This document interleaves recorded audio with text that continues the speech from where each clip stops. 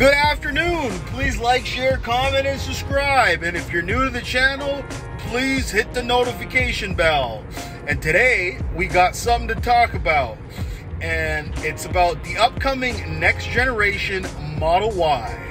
So without further ado, let's get right to it. So, all right, it looks like we got news on the next generation Model Y.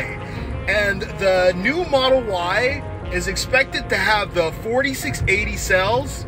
Um, we're thinking the updated interior, which is currently offered in Shanghai right now, with the uh, the all-around interior that that wraps around the uh, the trim, the wood panel trim there. And I, how many of you are excited about this? Uh, I'm definitely stoked about this. Um, I'm waiting on getting a new Model Y, uh, so I've put off my decision to purchase a Model Y right now.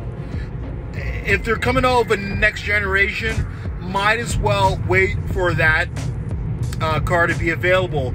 And it looks like Giga Berlin is the spot where the next uh, generation Model Y is going to be built. Um, I like I'm looking for increased range due to the new uh, batteries that they're able to uh, install in the vehicles, and I'm also looking for uh, just small interior updates. Um, and it's it's very funny that they're working on a Model Y refresh and and the car has only been available for only uh, about a couple of years now. So it looks like since it's its best seller, Tesla is um, trying to revamp and encourage new buyers to to get in on this uh, vehicle. I, I think uh, the Model Y, hands down, is the best bang for your buck as far as interior space, as far as looks, and what you're going to get from the vehicle. I've test driven a Model Y and I it, it put a smile from um, my left ear to my right ear. It, it, it just made me very happy.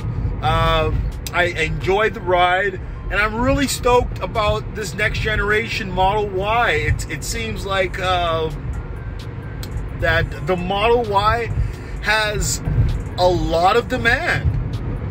There's a lot of demand with the Tesla Model 3, and I think the demand has shifted a little bit to the Model Y due to the fact that people are finding that it's it's a really good deal and it's a really uh, well, if you justify the Model Y and you compare it to the Model X, and you look at the price of the Model X, and if you were to cut that in half, you basically get the price of the Model Y.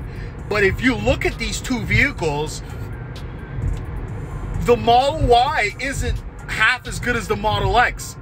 So, I, I, the price is very good. Um, I hope it, it, it continues to uh, decrease because of Tesla's ability to uh, ship more products and get the cost for manufacturing down.